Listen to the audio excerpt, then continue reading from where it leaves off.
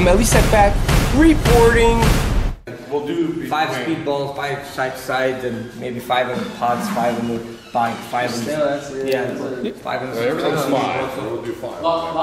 Abner just told me when he goes places, people say Amir. Man, I get all the time. I get. I was. I was at the fights on the weekend. You remember two weeks, two weekends ago at the Barclays, and people like, "Hey Abner, hey Abner." I've I'm there just keep walking out, and I go, "If Abner's there, Abner will shut." They're gonna think Abner's No an wonder they always tell me, "Yo, you so You're a dick, huh? You're a dick." I'm giving him a bad name to the Mexican people. With all the Spanish people, are gonna be like, "Oh, I'm not so arrogant." But but Amir has a big fan base with the Mexican community. Those guys here from Mexico just showed up. Oh, I know. Here's really love from the Mexican community, Hispanic. You know, they love his boxing style, man. 04 Olympics, 04 Olympics. You've been a pro 14 years, 14 years. You go right um, America. No, I represent Mexico. Oh, really? He trained with Nacho, uh, Marcus Yeah, trainer. Nacho, yeah, Nacho, the head coach. Yeah, yeah. And um, so you've been Athens as well, yeah? Yeah, that's that's too, man. Okay, so Mike over here, he was asking me, should Abner talk more smack or just No, be, be, be the way he is. I mean, Why? I like him for that. Be, but being humble, Yeah, be, be real, man. I mean, there's no point.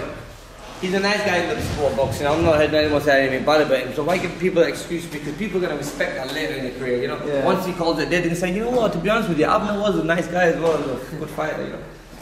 You're still a nice guy. Just I've shit. known Mike for You know what I'm many saying? years now. He tells me, hey, yo, Abner, you got the I feel legs, like- you feel like fly guys. Barney- Yeah. You just need to talk a little bit more. Talk yeah. smack. You need him, in the, you need him in the press conference next time. Yeah, You need to call him out. talk shit. You know, you go like this, you go like- you go like this. Abner said, fuck you. You, you know what's funny? Amir said he bought the bandana that you wear with the Oh, really? Yeah, he wanted to oh, really? know. He wanted to know why he bought it because of you. Why are you do you wear it? I wear it because you know it represents like you know the warrior in me. I always said that like you know boom the different side of me because mm-hmm. I don't know if you get that, but every time I'm in the ring, people tell me, "Yo, that you don't you don't look the same when you're you like your whole face, everything yeah. changes." And when you go back down to the ring, it's like you're the sweetest guy. Like people don't Yeah. even think I fight. You know, two sides to it, two Yeah. personalities, man. When it's time to switch, Yo, up, switch. but it's so fucking hot in here, man.